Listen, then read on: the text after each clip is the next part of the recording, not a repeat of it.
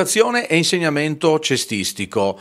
Eh, Sergio, mh, mm, ieri ascoltavo proprio per televisione Francesco Totti ehm, eh, con la sua eh, nuova eh, autobiografia, anzi l'unica autobiografia ufficiale. Ehm, il quale rimarcava, rimarcava con forza decisiva, eh, il decisivo ruolo della strada. Lui è cresciuto in strada, ha imparato a vivere in strada, ad allenarsi in strada e a, a, dire praticamente che la chiave di volta del suo successo probabilmente è stato proprio quello di vivere in strada, dove con poco, con niente, si costruiva una passione. Non è per caso che la costruzione di un grande campione parte dal presupposto di togliere qualcosa piuttosto che di dare tutto ai giovani ragazzi. Assolutamente vero, nel senso però più ampio, io intanto desidererei dire che insomma, la, strada, la strada deve essere però una strada eh, con una famiglia dietro, nel senso tu quando, quando finisci di giocare in strada devi avere a casa una mamma o un papà che eh, se, se arrivi eh, a casa tutto lacero e, e, e contuso. contuso. invece di andare a chiedere giustizia presso i genitori di quelli che ti hanno picchiato, ti picchiano a te perché ti sei lasciato picchiare. Questo, questa è l'educazione vera. Cioè tu, tu vai in strada e tu devi, tu devi sapere che la famiglia a questo punto quando tu sei in strada sono affari tuoi cioè non sono più affari miei. Questo è il grosso problema delle famiglie oggigiorno. Le famiglie oggigiorno cercano, cercano sempre di proteggere i propri figli in modo malsano.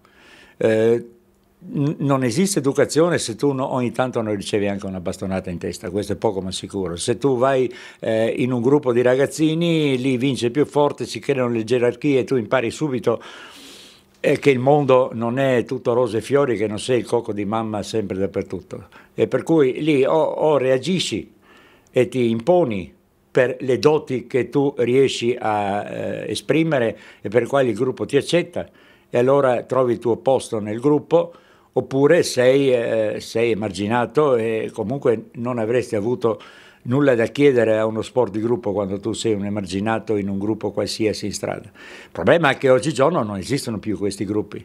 Cioè Totti ha ancora questa grandissima fortuna di essere nato proprio in uno degli ultimi anni in cui queste cose potevano succedere.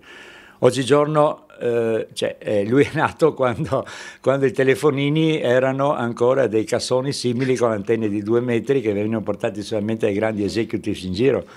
Oggigiorno tu hai quello che vuoi e, io sono estremamente pessimista, devo dire, da questo punto di vista, perché andando in giro tu vai di sera mh, per città e trovi questi giovani che sono insieme, fanno gruppo, sono 5-6 di loro, seduti, seduti accanto a un tavolo in una pizzeria e ognuno ha il suo telefonino che parla con un terzo o quarto che in un altro posto fra loro non parlano mai c'è una cosa che secondo me è, è, alienante dal punto di vista mio, addirittura straziante da questo punto di vista. Per cui eh, se tu vuoi fare uno sport di squadra, oggigiorno, eh, oggigiorno il concetto stesso di gruppo, di squadra, magari eh, di banda, di ragazzini che dopo alla, alla sera vanno, fanno magari qualche stupidaggine, però assieme, per, però assieme eh. nel senso adesso tu vai lì, sta attento perché adesso tu fai il palo, io intanto... cioè, queste cose qua che sono brutte in realtà, che però tutti noi facevamo della nostra generazione quando eravamo ragazzini, queste cose qua ormai si sono completamente perse. Eh, io devo dire, io ho fatto allenatore qua a Opicina eh, con una generazione di poco dietro la mia, cioè ragazzi, tutto gente che adesso ha 60 anni, però eravamo ai tempi in cui eh, queste cose erano assolutamente normali, non c'era alcuna difficoltà a fare gruppo. Io ho conosciuto i genitori dei miei giocatori la prima volta alla festa di fine anno, non sapevo neanche chi fosse il papà di chi. Detto, ah ma lei, ah ma suo figlio è bravino, questo, capisci? Siamo in tutto, in un, tutto in un altro mondo. E a questo sì. punto per cui per, per, mettere su uno sport di squadra secondo me bisognerebbe partire in modo estremamente drastico e draconiano e, e, e mettere le basi tutte, tutte in un altro modo, adesso se vuoi te le spiego. Ecco, perché proprio questo volevo chiederti. In un quadro eh, sicuramente svilente, eh, genitori ultras, eh, allenatori che vogliono per forza vincere le partite con dei ragazzini di 8 anni, eh, una scuola che osteggia lo sport. In questo quadro generale, come se ne viene fuori? Secondo me con eh, un eh, progetto a lunghissimo termine che però non vedo chi potrebbe mettere in piedi perché oggigiorno siamo nella cultura del tutto e subito. Concretamente un mio piano sarebbe estremamente semplice, cioè intanto deve essere una grande società, una grande società perché una piccola non se lo può permettere e questo è anche un grossissimo problema perché la piccola società vive di successi spiccioli e non può permettersi un progetto ad ampio termine eh, nel quale comunque ci vuole un investimento di base molto, molto cospicuo. Investimento di base in strutture e in allenatori, cioè in istruttori. Non, non voglio allenatori, giov allenatori giovani, non, non, li voglio.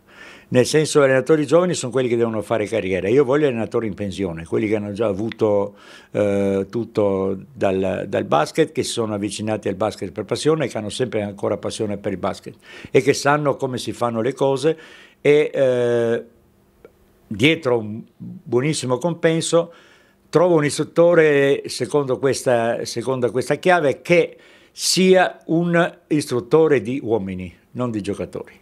Cioè io devo creare uomini, devo creare persone, prima di creare giocatori. Faccio una grandissima leva, do ai ragazzini una palla in mano, spiego le regole base e lascio che giochino per 20-30 minuti e li osservo. E tengo solamente quelli che hanno spirito di squadra, cioè quello che pensa di essere il più forte di tutti, che vuole la palla sempre lui, quello lo taglio in partenza. Io voglio creare, io voglio gente che abbia innanzitutto la capacità di eh, collaborare con eh, i propri compagni, che abbia il senso della vittoria di squadra, che la vittoria di squadra è molto più importante che non il successo del singolo e tutte queste cose, diciamo così, caratteriali e mentali. E su una leva di, non so, 200 ragazzini ne avrò probabilmente 20-30 che soddisfano queste mie esigenze.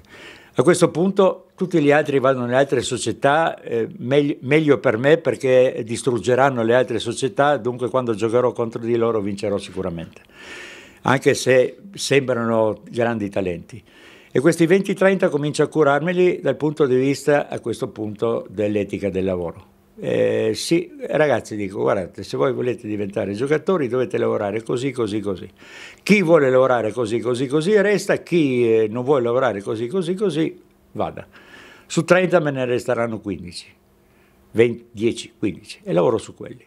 Lavoro su quelli, qualcuno di questi avrà anche talento per il basket. Eh, io quando un ragazzino 8-9 anni non posso sapere come si svilupperà eh, non posso sapere se crescerà, se diventerà forte, se diventerà abile, se diventerà un fenomeno, se rimarrà un metro e venti. Normalmente tu le partite nelle categorie dei microbi, come le chiamo io, quello under, under, under, eh, under 7, quelle le vinci eh, con, i futuri, con i futuri nani perché sono quelli che per ragioni ovviamente genetiche sviluppano loro eh, capacità fisiche e psichiche molto prima rispetto agli altri proprio perché possono poi sopravvivere quando gli altri cresceranno. Per cui eh, questa gente qua dopo rimarrà piccolina, di loro non avrà assolutamente alcun, alcun bisogno. C'è uno al massimo che potrà fare il fenomeno, il grande giocoliere, mi servirà uno su dieci ma gli altri non mi servono nella pallacanestro. Per cui eh, il, tutto il sistema di selezione dovrebbe essere effettuato ribaltando completamente tutto quanto succede adesso e rendersi conto che per i primi, eh, per i primi anni, da quando cominci questo lavoro, non avrai alcun tipo di vittoria a livello microbi. Però creerai giocatori e sono convinto comunque sempre, questa è l'unica nota di ottimismo che posso darti, che in un gruppo del genere, sano, veramente sano, chiunque entri successivamente diventa sano anche lui. Per cui il compito principale sarebbe di creare un nucleo sano, eh, dai, valo dai, valori giusti, dotato di etica di lavoro, di senso di responsabilità, di senso di condivisione. Questa è la cosa assolutamente più fondamentale. Poi chiunque entri in questo gruppo, se non si adegua, viene espulso dal gruppo stesso.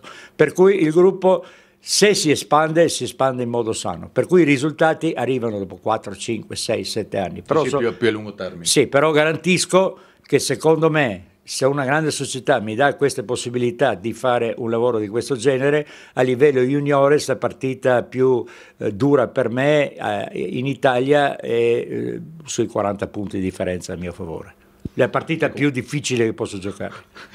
Quindi abbiamo sollevato il problema, ma abbiamo trovato anche la soluzione. Eh, abbiamo parlato di etica del lavoro. Eh, Mike Agassi, papà di Andre Agassi, eh, tennista famoso, campionissimo, ehm, diciamo c'è stato un rapporto estremamente conflittuale fra i due. Da una parte eh, il papà che dice eh, farei esattamente quello che ho fatto.